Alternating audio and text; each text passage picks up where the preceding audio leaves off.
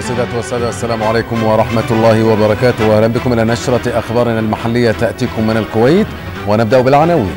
مجلس الوزراء يوافق على مشروع مرسوم بتعيين الفريق ركن محمد خالد الخضر رئيسا للأركان العامة للجيش.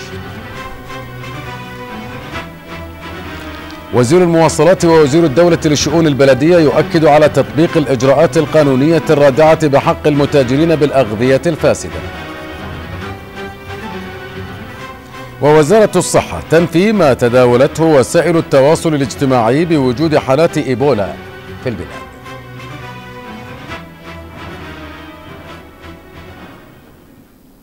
أهلا بكم. استقبل حضرة صاحب السمو أمير البلاد الشيخ صباح الأحمد الجابر الصباح حفظه الله ورعاه بقصر السيف صباح اليوم معالي النائب الأول لرئيس مجلس الوزراء ووزير الخارجية الشيخ صباح الخالد الحمد الصباح.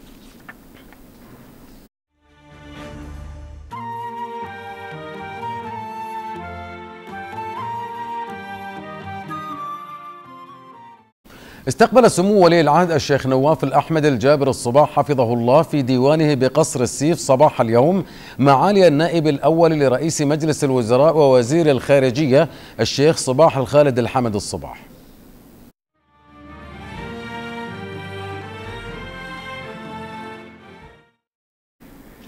استقبل رئيس مجلس الأمة مرزوق علي الغانم اليوم رئيس الاتحاد الكويتي للسكواش وليد الصميعي ورئيس الوفد المشارك بدورة الألعاب الآسيوية السابعة عشرة في إنشيون بجمهورية كوريا الجنوبية مشعل الشرقاوي والمدرب ناصر سيد زهران واللاعبين عبد الله المزين وفلاح فايز محمد وعمار التميمي. كما استقبل الغانم رئيس الوفد المشارك في ألعاب الأسياد وأمين السر العام للاتحاد الكويتي للكاراتيه عماد عبد الستار بهبهاني ومدرب الفريق بدر مخلد العتيبي والفائزة بالميدالية الذهبية في الكاراتيه بدورة ألعاب الأسياد راشد فلاح المطيري والفائزة بالميدالية الفضية حمد النويعم والفائز بالميدالية البرونزية علي حسن عبد العزيز. واستقبل الغانم أيضا رئيس الاتحاد الكويتي للتايكواندو فايز الدحاني والمدرب عقيل عبد الله السنافي واللاعب أبرار الفهد. وأعرب الغانم خلال استقبال الوفود الرياضية بالإنجازات التي تم تحقيقها في ألعاب الأسياد مؤكدا ضرورة اهتمام القائمين على الرياضة الكويتية بالألعاب الفردية التي عادة ما تساهم في تحقيق الانتصارات الرياضية اللافتة باسم دولة الكويت.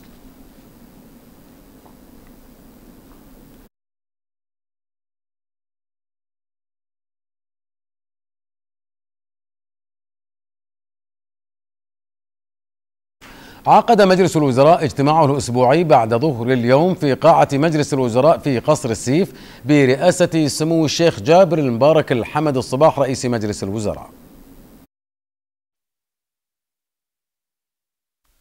بمناسبة قرب حلول العام الهجري الجديد 1436 هجرية يتقدم مجلس الوزراء في مستهل اجتماعه بأسمى آيات التهاني والتبريكات لمقام حضرة صاحب السمو الأمير وسمو ولي العهد حفظهما الله ورعاهما والشعب الكويتي الكريم مبتهلا للعلي القدير أن يعيد هذه المناسبة بالخير واليمن والبركات والأمة الإسلامية ترفل بأتواب العزة والازدهار.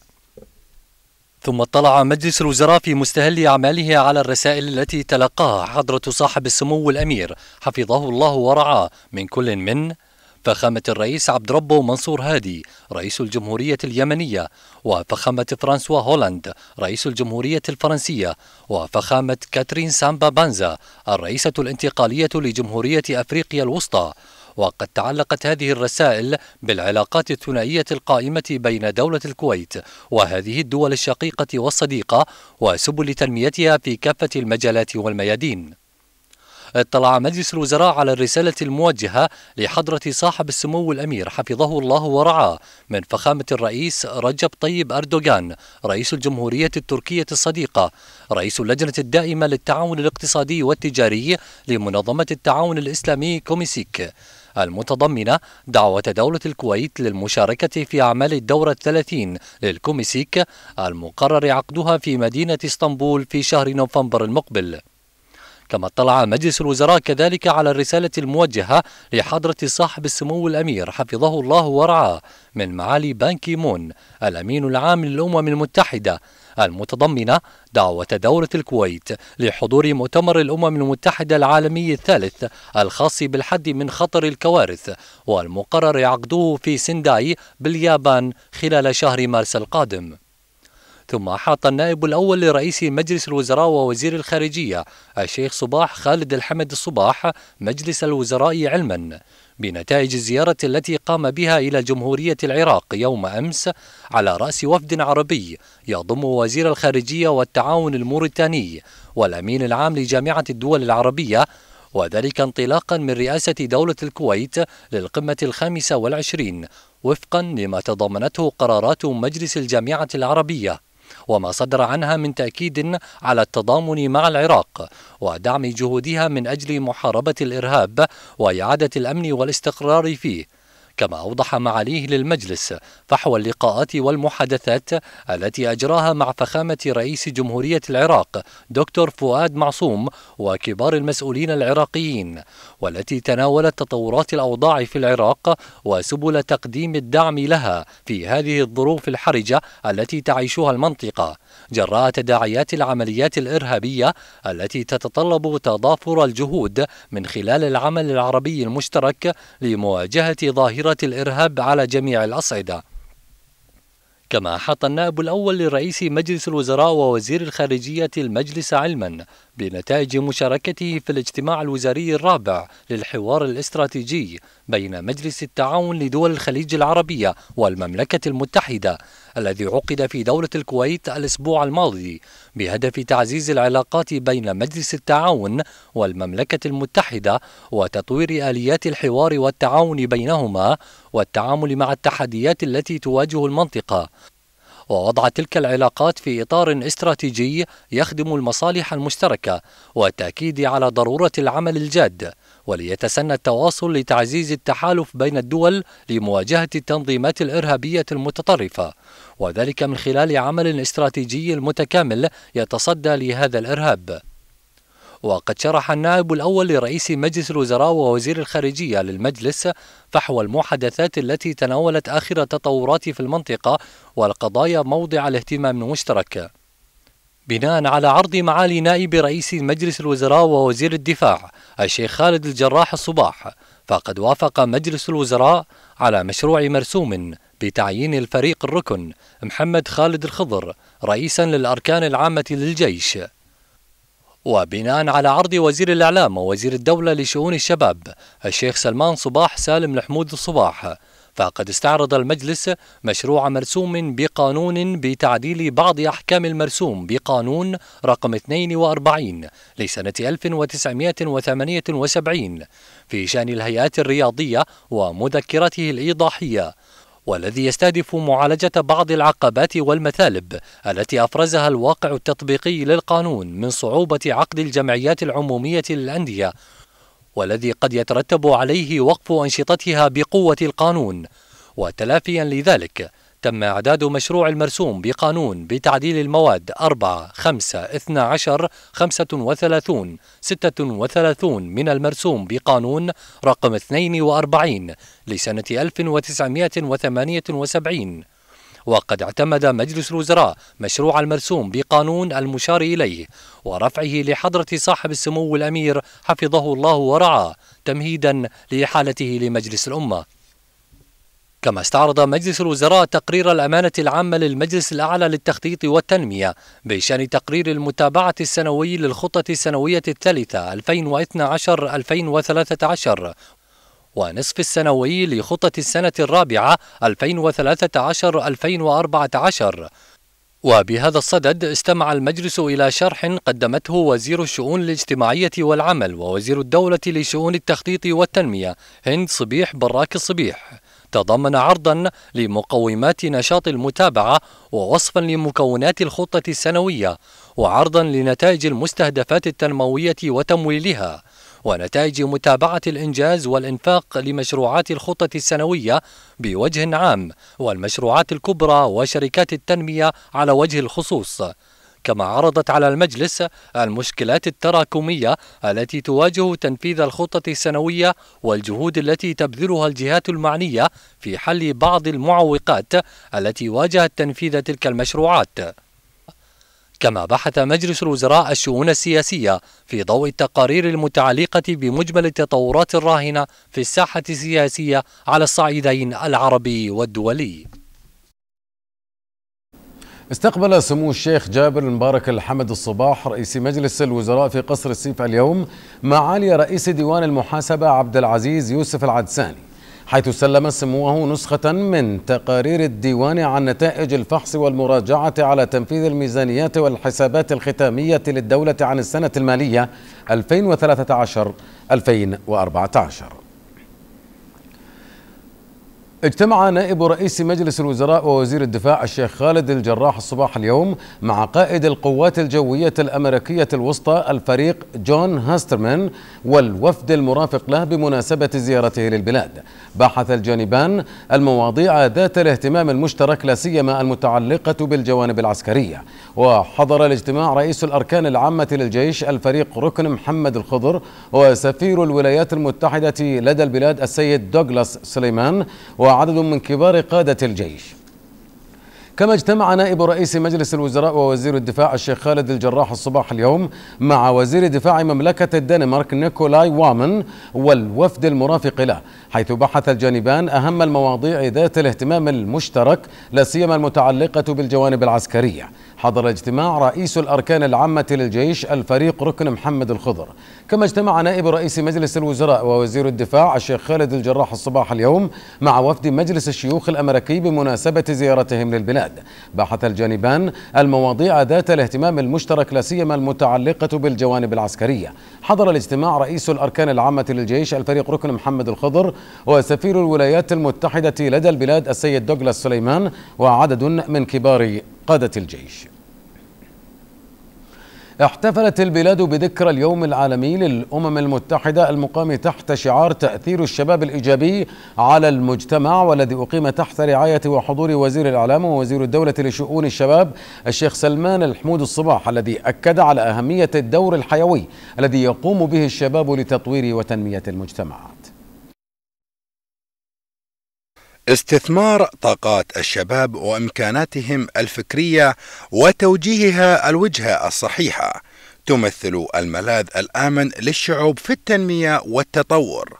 هذا ما أكده وزير الإعلام ووزير الدولة لشؤون الشباب الشيخ سلمان الحمود الصباح خلال الاحتفال بذكرى اليوم العالمي للأمم المتحدة. أهمني شبابنا المحتفى فيهم هذه هذا المساء في يوم الأمم المتحدة وتحت شعار مخصص تأثير الشباب في بناء المجتمعات. ونشكر الأمم المتحدة ومكتبهم في دولة الكويت على اهتمامهم. بهذه المناسبة المهمة وتكريم مجموعة من المبادرات الشبابية المنتجة.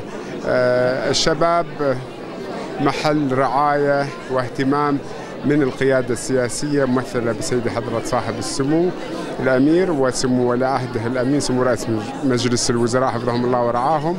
والدولة تقدم كل إمكانياتها لدعم رعاية الشباب وتمكينهم للقيام بواجباتهم وخدمة وطنهم في الحاضر والمستقبل.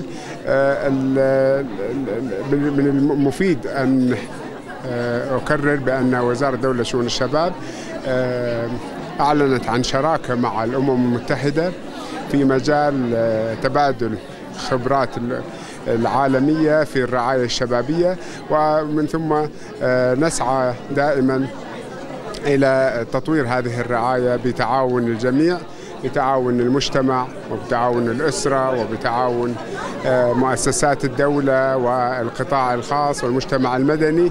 هذه الشراكة والعمل البناء هو السبيل الوحيد لرعاية شبابنا وتوجيههم فيما يحقق مصلحة الوطن الغالي في الحاضر والمستقبل. الاحتفال بذكرى اليوم العالمي للأمم المتحدة والذي يصادف الرابع والعشرين من أكتوبر كل عام. يأتي إحياء للدور الذي تلعبه المنظمة الدولية من أجل إشاعة ودعم الأمن والسلم الدوليين منذ إنشائها. أحب أبارك لإخواني وأخواتي المكرمين الليلة من قبل آه، الأمم المتحدة بالتعاون مع وزارة الدولة لشؤون الشباب. هذه النخبة من الشباب من الجنسين هم آه، مثال عالي ومفخرة للدولة.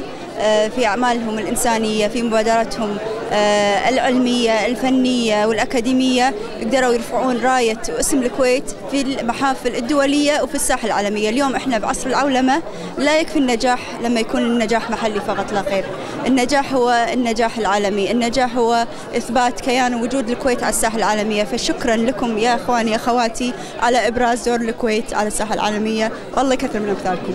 احتفال هذا العام والذي يأتي تحت شعار تأثير الشباب الإيجابي على المجتمع يحمل أهمية كبرى في لفت الأنظار وإلى الدور الحيوي الذي يقوم به الشباب لتطوير وتنمية المجتمعات وتحقيقا لمبادئ السلام والاستقرار المجتمعي للشعوب. من مكتب الأمم المتحدة في دولة الكويت يوسف صفر تلفزيون دولة الكويت أكد وزير المواصلات ووزير الدولة لشؤون البلدية عيسى الكندري تطبيق الإجراءات القانونية الرادعة بحق المتاجرين بالأغذية الفاسدة وتفعيل بنود عقود النظافة للشركات المتعاقدة مع البلدية ومراقبتها في جميع محافظات البلاد. وشدد الكندري في كلمة خلال ترأسه اجتماع اللجنة العليا للتخطيط والتنسيق في البلدية اليوم على ضرورة تطبيق الإجراءات القانونية الرادعة بحق كل من تسول له نفسه المتاجرة بالمواد الغذائية الفاسدة وتتاولها في الأسواق المحلية من الأفراد أو الشركات وتطبيق الإبعاد الإداري بحق المضبوطين. وأكد الكندري على أهمية تفعيل عقود شركات النظافة المتعاقدة مع البلدية وتزويده بتقارير دورية مفصلة بشأن الغرامات والجزاءات المطبقة على تلك العقود مشيرا إلى أهمية التدقيق والمتابعة لأداء الأجهزة الرقابية للنهوض بمستوى النظافة في كافة المحافظات. تشارك الكويت في اجتماعات الدورة الحادية والستين لإقليم شرق المتوسط بمنظمة الصحة العالمية التي تستضيفها تونس ويترأس وفد دولة الكويت وزير الصحة الدكتور علي العبيدي. ترأس وزير الصحة الدكتور علي العبيدي الوفد الكويتي في أشغال اللجنة الإقليمية لمنظمة الصحة العالمية لشرق المتوسط في دورتها الحادية والستين التي انطلقت مساء الأحد بالعاصمة تونس. وتتدارس هذه الدورة على مدى ثلاثة أيام. مواضيع رئيسية مثل طرق استئصال شلل الأطفال وتحديد سياسات الوقاية من فيروس إيبولا ومبادرة التحرر من التبغ ومواجهة العوز المناعي والأمن الصحي العالمي. لدينا أيضا تعزيز صحة في هذا المجال وقمنا بتوعية المجتمع فيما يخص الفيروسات الإيبولا وكورونا وما هي يعني أهم الأسباب التي تقوم بهذا الانتشار وكيفية حماية المواطن والمقيم على هذه البلد من هذه الفيروسات. ولا ننسى أيضا أننا لدينا لجنة خاصة في مكافحة مثل هذه الأمراض ولدينا أيضا تدريب مستمر لمراكزنا ورعاية الصحية الأولية وأطبائنا وفنيين وكل من يقدم هذه الخدمة في المستشفيات في التعامل آه، لمثل هذا الموضوع. وطبعا ما يؤكد اهتمام دولة الكويت في هذا المجال هو آه، دعم آه، حضرة صاحب السمو أمير البلاد الشيخ صباح الأحمد الجابر الصباح بتبرعه بمبلغ 5 ملايين للمنظمة في تصدي لمثل هذا الفيروس. 16 وزيرا للصحة من المنطقة العربية ومديرو منظمات دولية تتقدمهم المديرة العامة لمنظمة الصحة العالمية مارغريتا تشان أشادوا بجهود دولة الكويت للنهوض بالوضع الصحي عربيا وإقليميا. الكويت آه، نفذ مبادرات كثيرة خاصة في آه، مجال آه، الرعاية الصحية الأولية وكذلك أيضا في مجال مكافحة آه، أمراض القلب والأوعية الدموية وارتفاع ضغط الدم والسكري. كما أبرز المشاركون دور الكويت في مجال البحوث الهادفة للوقاية من الأمراض السارية وغير السارية. وهذا اللي هو سيد وزير الصحة الكويتي اللي يأكد عليه هي الوقاية. الوقاية هي تنجم تكون أولا من يعني مسببات السرطان ثانيا من آه، يعني التحاليل المبكرة اللي نجم يقوم بها باش الإنسان يعني آه، يعرف أنه عنده ساعة ساعة راهو السرطان قبل ما يستفحل وكان إنسان يفيق به يعني يعالج بصفة بسيطة جدا. ومن المنتظر أن يتوج المؤتمر بإعلان استراتيجية عمل في مجال الوقاية الصحية للسنوات القادمة. أشاد المشاركون في هذا المؤتمر بجهود دولة الكويت في مجال الرعاية الصحية ومقاومة الأمراض السارية وكذلك بالمساعدات التي تمنحها لعديد دول العالم من أجل مكافحة الأمراض. ناجح المساوي تلفزيون دولة الكويت تونس. قال الوكيل المساعد لقطاع تنمية الشباب في وزارة الدولة لشؤون الشباب عبد الرحمن مطيري إن الوزارة تسعى إلى تنمية قدرات الشباب خاصة الطلبة المبتعثين للدراسة في الخارج. وأضاف المطيري في مؤتمر صحفي عقد اليوم بمناسبة إطلاق مبادرة خير سفير بالتعاون مع المشروع التوعوي الوطني للوقاية من المخدرات. غراس إن الوزارة تقدم كافة الدعم لإنجاح المشاريع التي تحقق طموحات الشباب. كم هو جميل أن يستطيع الشباب الكويتي تمثيل بلاده في الخارج بمهاراته وقدراته التي ترفع اسم بلده عالياً؟ وكما يقال اغترب طلبا للعلم وكن سفيرا للعلم. لذلك فقد نظمت وزارة الدولة لشؤون الشباب مؤتمرا صحفيا بمشاركة المشروع التوعوي للوقاية من المخدرات غراس للحديث عن مشروع خير سفير والذي يخص الطلبة المبتعثين إلى الخارج. يعزز آه، الثقة بالنفس ويطور من مهاراتهم وأيضا يمكن الشباب ويعزز مشاركتهم القيادية. وهي دائما هذا وزارة تسعى لتحقيق آه، هذا الهدف الأساسي آه، من خلال دعم تقديم كافة سبل الدعم لهذه المبادرة. أما أن فيما يخص الوقاية فإحنا الحمد لله قمنا في حملة موسعة لمعالجة الظواهر السلبية. وأطلقناها في الموقع الإلكتروني آه، آه، لمنح الشباب آه، مشاركة وزارة الدولة والشؤون الشباب لمشاريعهم وأفكارهم من خلال هذه المبادرة. المشروع التوعوي هو عبارة عن دورات تدريبية تهتم بتطوير وقدرات الطلبة المبتعثين للخارج وأعدادهم لتجربة جديدة تتضمن تحديات كثيرة. الكثير من المشاكل اللي قد يتعرض لها الطالب في الغربة ممكن أن يتجاوزها لو كان عنده المهارات والقدرات الذاتية. مثل ترتيب الأولويات كيفية الدراسة شلون يتعايش مع ظروف الغربة وشلون يتأقلم نفسيا ويعني يواجه التحديات كيف يدير ميزانيته الشخصية كيف يكتب أهدافه كيف يكون له هدف يود أن يحققه. فإحنا باختصار هدفنا أن نساعده بحيث ينجح المجال الشخصي والدراسي أثناء وجوده في الخارج. خير السفير عبارة عن جرعة مكثفة من الدورات في مهارات الحياة وهي ستنتقل يا أما تنتظر الطلبه في الخارج عندما يصلون للكويت تخلق لهم بيئة حافظة عبارة عن جرعات مكثفة من دورات فترة العطل أو أنها ستخرج لهم في جدول منظم ستذهب إلى بريطانيا ستذهب إلى أمريكا وتستجيب في وقت لاحق لطلبتنا في إستراليا. جهود حثيثة تبذلها الكثير من الجهات للدفع بهذا المشروع للأمام لما له من فوائد جمة تنعكس بشكل إيجابي على الشاب الكويتي المبتعث إلى الخارج. إذا هي جرعات تدريبية في التنمية الذاتية للطلبة تتمثل بمشروع خير سفير، هذا المشروع التوعوي الذي يهتم بتطوير القدرات والمهارات للطلبة المبتعثين إلى الخارج. ديما دحدة تلفزيون دولة الكويت. نفت وزارة الصحة ما تم تداوله عبر وسائل التواصل الاجتماعي وما أثارته بعض الجهات الإعلامية عن وجود حالات مصابة بمرض إيبولا في البلاد مؤكدة عدم صحة هذه المعلومات على الإطلاق. وأوضح مدير إدارة الصحة العامة بالتكليف في وزارة الصحة الدكتور مصعب الصالح في تصريح لوكالة الأنباء الكويتية أن أحد مراكز الشرطة طلب من وزارة الصحة فحص بعض الوافدات من جنسية آسيوية وإثيوبية كانت متواجدة في أحد مراكز الشرطة والتي تبين أنهن يعانين من التهاب تنفسي علوي ولا توجد لديهن أعراض لمرض إيبولا أو كورونا على الإطلاق. السيدات والسادة البقاء لله وحده. انتقلت إلى رحمة الله تعالى. خديجة نادر مطلب كرم عن عمر يناهز الثانية والثمانين. انتقلت إلى رحمة الله تعالى. نورية محمد عبد الله الباذر زوجة حسين عبد الرسول الباذر عن عمر يناهز الرابعة والستين.